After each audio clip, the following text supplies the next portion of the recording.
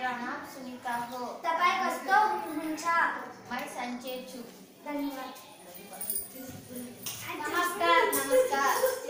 तपाईँको नाम के हो? मेरो नाम हरि हो। तपाईँ कस्तो हुनुहुन्छ? धन्यवाद। धन्यवाद।